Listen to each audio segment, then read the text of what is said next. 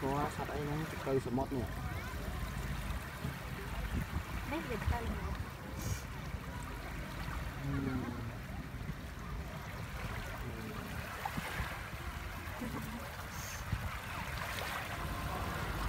đấy là vịt cây lùng một rồi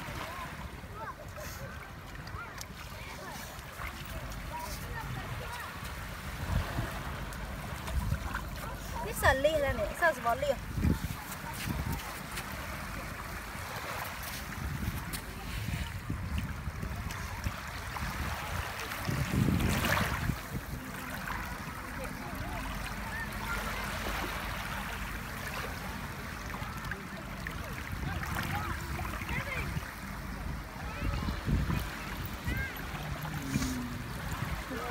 lắm.